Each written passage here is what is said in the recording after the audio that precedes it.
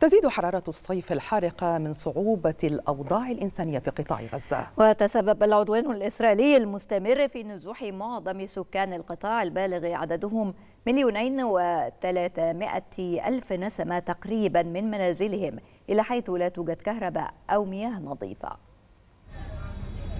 في مكان باتت الحياة فيه معجزة ينتظرها الفلسطينيون كل طلعة شمس. تعد الكهرباء سلعة نادرة أو حلما مستحيلا. ومع الحر القائد الذي يجتاح المنطقة يحل لهيب الحرارة ضيفا ثقيلا على ما تبقى من ملاجئ لم تطلها آلة العدوان الإسرائيلي. ولم يسع أمل إلا استخدام ورق مقوى للتخفيف من حدة الحرارة على جسد ابنها في أحد زوايا مدرسة تابعة للأونروا هلقت شهر ستة وسبعة جايين تموز؟ يعني صيف.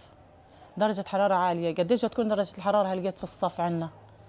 درجة الحرارة عالية كتير. طلع الرطوبة طلع العرق في الأولاد طلع الحرارة قديش بدي أطفي حرارتهم كيف؟ لو الواحد مفكر إنه يجيب هواية فيش كهرباء. كيف بدي أشغل لهم مراوح؟ بندبر لنا خشبة بندبر كرتونة. نهوي على حالنا. هيو صح من الشوب. هو عارف ينام؟ وما يزيد الطين بلة انعدام المياه إلى جانب تكدس العائلات في الخيام أو المدارس التابعة للأمم المتحدة وهو ما يحرم الفلسطيني من أبسط الحقوق بل يزيد من معدلات الإصابة بالأمراض مع انتشار الحشرات وتدهور البنية الصحية. أنا خايف على أطفال على أطفالي من شغلة واحدة إنه في عندك الكبد الوبائي إنه منتشر عندنا وفيش عندنا حمامات في المدرسة. إيش المدرسة على حمام واحد ومشترك؟ وما دونك البعوض والدبان. وطلع ابني هذا هذا ابني بالنسبة له إنه عنده ربو ومش قادر أنا إيش أسوي؟ معه عايشه على البخاخات هذا الشاب إيش ذنبه؟ إنه أنا يصير فيه زي هيك. وهي عندك بنتي هذه صف ثالثة إعدادي إيش عملها؟ ضاع مستقبلها. وعندي كمان بنت في توجيهي اللي راح عليها توجيهي. ويعني حياتنا مأساوية جدا جدا.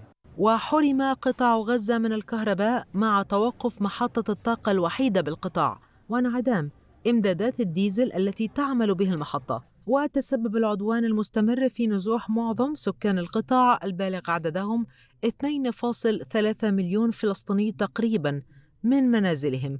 وتركهم فريسة لسلاح المحتل أينما تطأ أقدامهم.